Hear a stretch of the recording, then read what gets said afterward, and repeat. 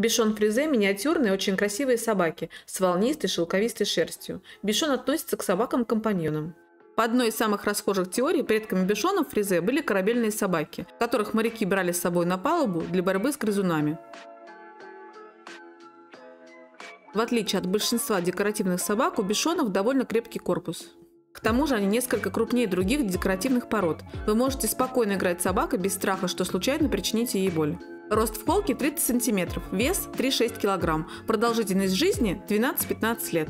Баллон кабишон фризе похожа на пуделя по структуре пухового шерстяного покрова. Он состоит из шелковистого, но вьющегося остевого волоса и мягкого подшерстка. Бишон фризе – гармонично развитая порода с крепкими лапами и плотным телосложением. Голова пропорциональна телу, уши свисают в бока морды, глаза остро круглые, близко посаженные.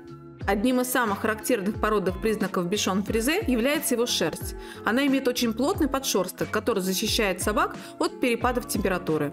Остевая шерсть длинная, но не более 10 сантиметров. У здоровой собаки шерсть выглядит очень плотной и в то же время мягкой. Цвет чистопородных животных исключительно белый. Любые пятна или вкрапления недопустимы.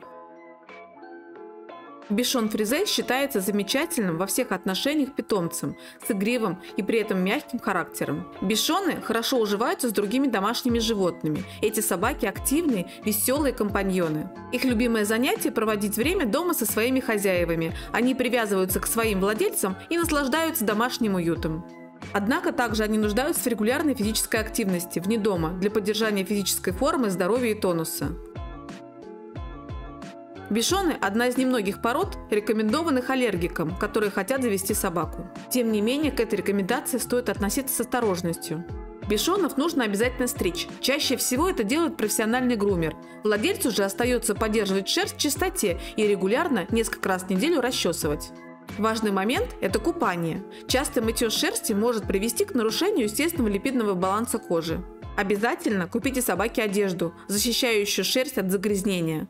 Уход за зубами сводится к регулярным чисткам, которые нужно делать 2-3 раза в неделю. При том замечательном факте, что собаки бишон фризе не вызывают аллергии, сами же они могут страдать часто от аллергической реакции на определенные продукты. Чтобы не спровоцировать аллергию, нужно строго следить за рационом любимца щенячьего возраста и ни в коем случае не экспериментировать с кормлением со стола.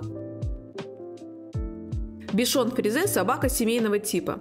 Взрослое животное сохраняет игривость щенка и отлично чувствует себя в веселой компании детей, но может и чинно посидеть рядом с человеком, если шумная возня неуместна. Добродушный и всегда позитивный характер бишон фризе делает эту породу более подходящей для семьи с детьми. Исключительная внешность бишонов очень придирчиво оценивается на экстерьерных выставках. Белоснежная кудрявая шерсть не должна иметь намека на появление ржавчины, ржавых участков. Щенки могут иметь бежевый оттенок шерсти, но к полугоду цвет шерсти должен обязательно выровняться в белый. Длина шеи, согласно требованиям, составляет одну треть от длины корпуса. Короткая и грубая шея – абсолютно неприемлемый дефект. Друзья, на нашем сайте вы можете познакомиться с породой бишон фризе и приобрести щенка от проверенных и титулованных родителей. Наши ответственные заводчики помогут вам на всех этапах взросления щенка. Подписывайтесь на наш канал, ставьте лайк, если видео было для вас интересно. Пишите в комментариях вопросы, которые вас интересуют, и мы постараемся на них ответить. Увидимся в следующих видео.